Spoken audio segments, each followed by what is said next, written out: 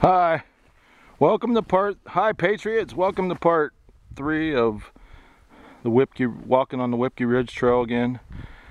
Probably what I'll call it. This is a beautiful place here. I'll, I'll zoom into that beautiful field. Yeah, there's nothing like being out in America. And uh, like I told you guys, I I jog these trails all the time, and so I moved to, to Greene County from Fayette County, so that's why I walk in Fayette County a lot. It's because I used to live in Fayette County, and I my I, I revisit Fayette County because my my kids from both marriages are there, and uh, this is a this isn't a hill so I won't be breathing as hard. But breathing is a big part of walking so you got to breathe get the oxygen flowing get the blood flowing. You know I'll talk about a little bit about health and a little bit more about what how when 9-11 happened. It changed my life and everybody else's life in this country yeah, 9/11 was definitely a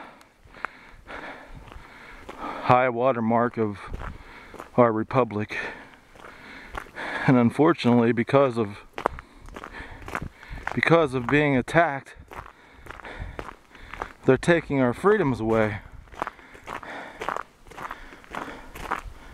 I believe it was Madison that said freedom will be freedom will be taken away from the American people under the guise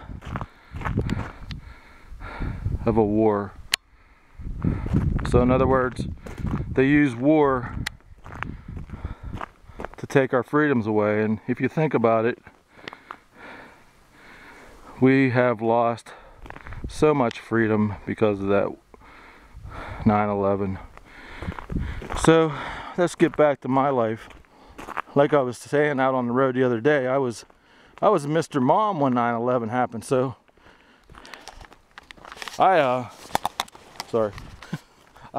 I uh I couldn't do anything. And like I said, I quoted myself being a patriotic lion.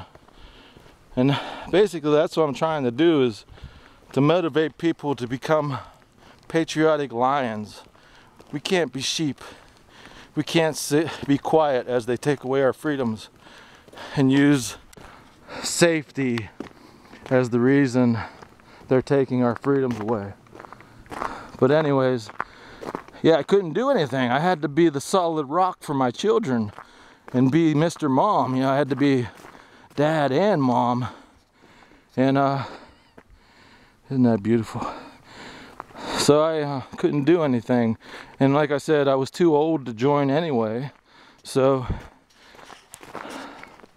during the time I was Mr. Mom, being the rock for my children, I was a football coach, baseball coach, cheerleader, mom, and uh, for two of my children. And uh, my I have an older daughter from my first marriage. And uh, I was basically trying to impress my daughter too. She was a senior in high school when I started walking. But anyways, let's get back to the. So the, for the first, the kids went back to live with their mom, and uh, so then I knew it was time for me to do something. And like I said, I collected all those Patriots on on MySpace.com. It was like football cards. it's like when I was a kid, I collected football cards, but now I was collecting American Patriots. So I, uh, like I said, one, I, I kept thinking of stuff to do. I didn't know what I was going to do. And then when I found out my congressman, John Murtha, a former Marine, and I know Marines are always Marines, and, and uh, but I call him a former Marine because he put 13 Marines in jail for the Battle of Haditha. and he took the word of the enemy. And he you know here are poor marines in jail. And i couldn't take it. I wanted that's when i picked the flag up. And then i said this is it. I'm walking for the troops. And uh, this is the answer i was looking for to inspire people. And it was and it has been and it always will be. I'll never stop walking until they pass a law like I said, they probably will pass a law that we can't walk on the highways with the flag. They already, there already is a law that we can't walk on the uh, interstates. I found out the hard way. I was gonna walk from Waynesburg to Morgantown, or walk in between there to see how far I could do and go back, you know. And uh, state policeman came up. He's like, "What are you doing?" I'm like, "I'm walking to Morgantown or seeing how far I can go." And he said, didn't you see the sign? You're not allowed to walk on the interstate. I'm like, you gotta be kidding me. I thought we were free from sea to shining, sea to shining sea. And he said, no, sir, not on the interstate. So he was nice and took me back and I did my 10 miles on Route 21. But, uh, so, yeah. So they already have a law we can't walk on the interstate. So they could easily pass a law that we can't walk on the roads. And if they did, we'd have to pay uh, insurance to walk on the road. But anyways, uh, so I've been walking all this time just to show the world and the country that men from west southwestern Pennsylvania love our troops and we're patriotic Americans. Get up and fight for the freedom of speech and I'll see you in the next segment of this cool video. Bye.